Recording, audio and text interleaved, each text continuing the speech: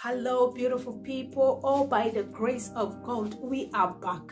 We are back on screen. This is uh, this feels good. I have missed every one of you, but I am so grateful that I am back on the screen.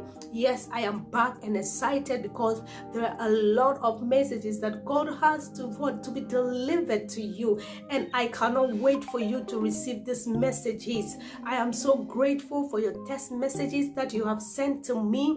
Oh, these these are those text messages were very you know it was it was touching just to prove to me that I am doing a good job out there.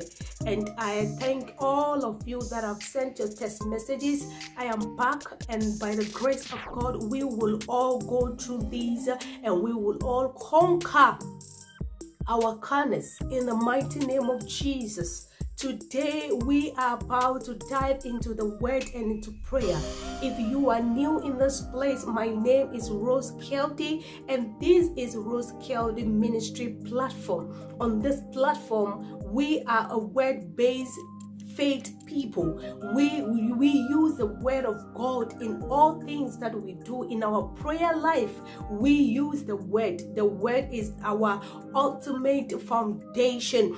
And we are so grateful that we are here to inspire one another to move out of their comfort zone to pursue what God has given them based on the word and through the word, the, the Holy Spirit, uh, and also to grow spiritually. Yes, to grow spiritually, that we will not be the children that we used to be, but we will be the children that God has called to get matured. So, on this platform, that is all that is about, and I hope that is stay tuned after this short commercial break when we will dive into the word.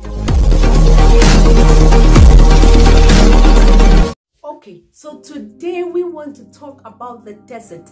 The desert. You know, many of us as children of God, it is in the desert that we give up we give up our calling our purpose our our victories. We give up all this in the desert.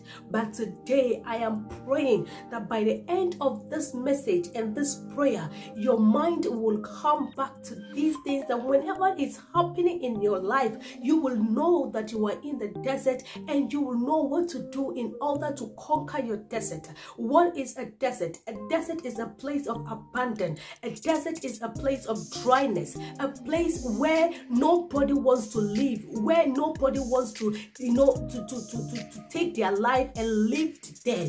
When you listen to the, the story of the Israelite, God have called Moses after the Israelites have been praying for a while that God should come and save them out of bondage and out of what? Uh, uh, slavery. And finally, when God heard their prayer, God did not take them straight to the Canaan. God has to take them through the desert to prepare them to the Canaan and even to prepare them for the fight that is ahead of them. Because to conquer your Canaan is not going to come easy like that. You need to go to the desert.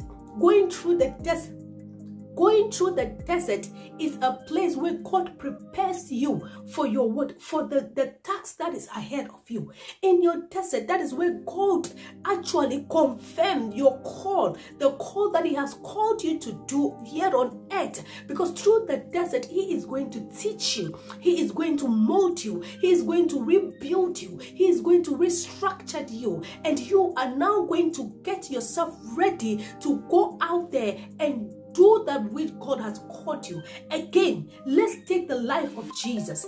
When Jesus was ready, the Bible says he went to the Jordan and he was baptized and now ready to start what his assignment here on earth. But where did the Holy Spirit lead him? Into the desert. And what happened in the desert? That is another story for another day. But I want you to understand that there are signs that you have to see that whenever these signs are around you, you have to understand that I'm in the desert and there is a new, a new, a new level that God wants to take me through or to. But if you are not able to go to that desert, you cannot get to the next level. Yes, you cannot get to the next level. That is why most of us we are finding ourselves behind. We are not progressing in life because we are missing out our desert preparations our desert promotions because it is through the desert that you are going to be promoted. Let me tell you one thing. In the desert and during the desert and after the desert, there is always after the desert there is celebration.